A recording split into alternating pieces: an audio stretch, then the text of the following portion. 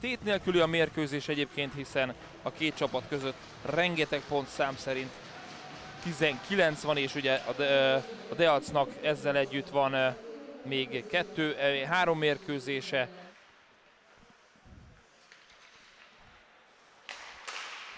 ...133 23-at tudtak belőni, és itt a 24 ugyanis megszerzi a vendégcsapat a vezetést. Hát egy percnek nem kellett eltelnie a kiállításból, és egy villámgyors szalma észrevételnek köszönhetően megszerzi a vezetést a DAB.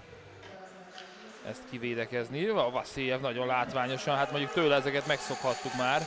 Vasiljev, még ez is jó, Vasiljev, ó, micsoda játék, gól!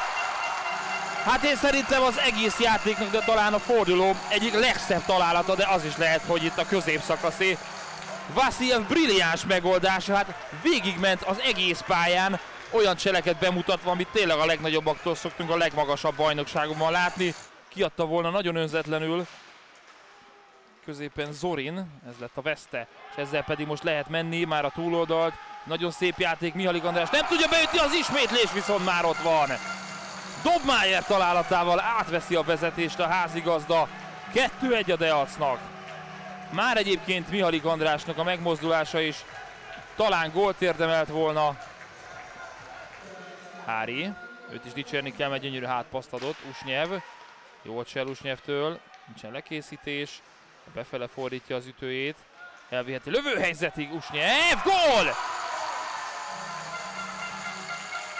Usnyev addig-addig cipelte, amíg tényleg nagyon jó, százszázalékos lövőhelyzetbe került, és megszerzi a harmadik Debreceni gólt az utolsó percben, itt a második harmadban.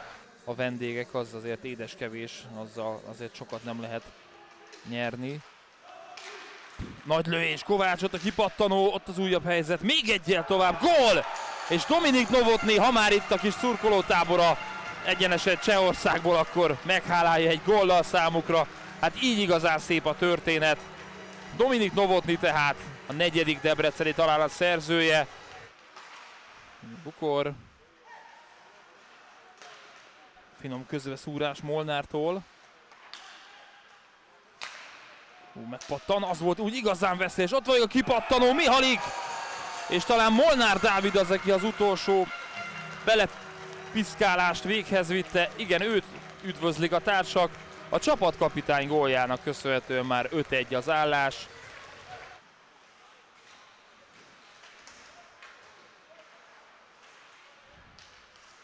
Vasiljev. Jaj, de szép passz Krollisnak. Na a születésnapos. Ó, mekkora gól! Hát így kell stílusosan ünnepelni a születésnapos. Nix Krollis kipókhálozza a hosszú felsőt. Bomba gól a javából és egy remek beszabott akció. És a debreceniek ezzel 6-1-es sikert aratnak. Az első győzelem tehát itt a középszakaszban, holnap pedig lehet majd ismételni Dunaújvárosban, ami az, amely az utolsó találkozója lesz a fekete.